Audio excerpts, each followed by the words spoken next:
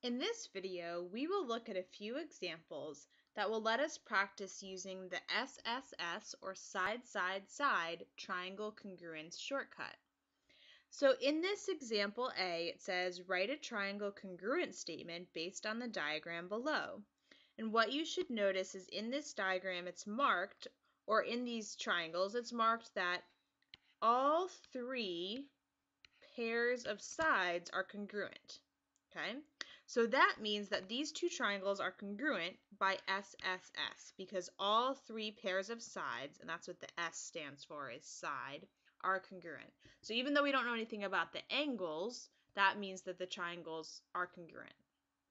So if we want to write a congruent statement, start with the triangle on the left. I'll call it ABC. And then you just want to make sure you match up the letters correctly. So angle A, which is between the one marking and the two markings, matches with angle L, because it's also between the one and the two markings. So I'll put L next.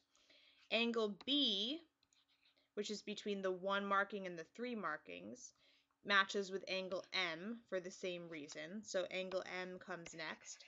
And we'll end with angle K since that's the last letter. In example B, it says, write a two-column proof to show that the two triangles are congruent. Given, AB is congruent to DE, so let's mark that.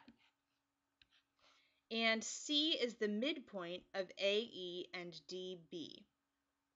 Okay, so C is the midpoint of AE and DB. So if C is the midpoint of AE, Remember that a midpoint is exactly in the middle of the line segment and it sort of bisects it in a way. So AC we know will have to be congruent to CE. And similarly, if C is a midpoint of DB as well, that means that CD has to be congruent to BC. Okay, so now notice we have all three pairs of sides are congruent, so we'll be able to say that the triangles are congruent by side, side, side. So let's set up our proof. Remember, in a two-column proof, you want statements on the left and reasons on the right. And you're going to number each statement starting with your givens. So given is AB is congruent to DE, and that's given. And also, CC is the midpoint of AE and DB. And again, that statement is given. That's the way we know that. So because C is the midpoint, that told us two things. It told us that AC was congruent to CE, and also that BC was congruent to CD. And the reason for that is the definition of midpoint. Because C is a midpoint, it is right in the middle of those two line segments, and so we know two pairs of congruent lengths based on that.